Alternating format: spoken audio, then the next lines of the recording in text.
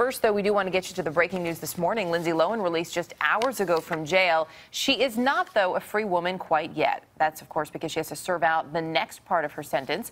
Early show national correspondent Hattie Kauffmann joins us this morning from Los Angeles with more. Hattie, good morning. I'm here at UCLA Medical Center where Lindsay Lohan is supposed to spend the next three months in treatment. She was released around 1.30 in the morning, and because that's after midnight, she got credit for an extra day served. After serving 14 days of her 90-day sentence, Lindsay Lohan left the Century Regional Detention Facility, released early due to jail overcrowding.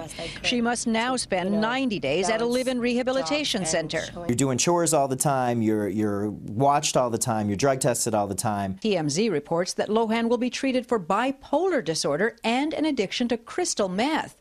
Her attorney denies that, telling Radar Online it's a fabrication 100%. When will you find out? But Lohan Lohan's probation report lists five powerful drugs currently prescribed to the actress, including Adderall, Dilaudid, and Zoloft. Yes, they're absolutely hard to get off of, and they're going to require a lot of time, a lot of energy, and a good doctor to help somebody get off of those medications. The rehab was ordered as part of Lohan's sentence for a probation violation for a pair of DUI arrests in 2007. She's expected to foot the bill for treatment, ten to fifteen thousand dollars a month.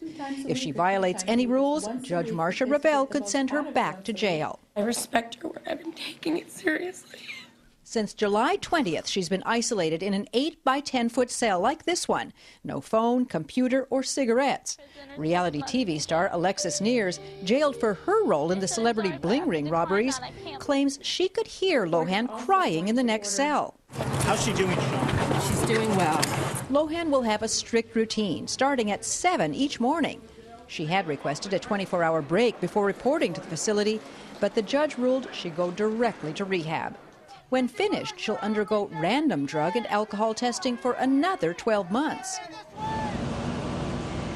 Earlier, there was speculation that she might get her treatment at a luxurious seaside rehab center that offered surfing and yoga, but apparently the judge nixed that idea. Erica? Hattie Kauffmann in Los Angeles this morning. Hattie, thanks.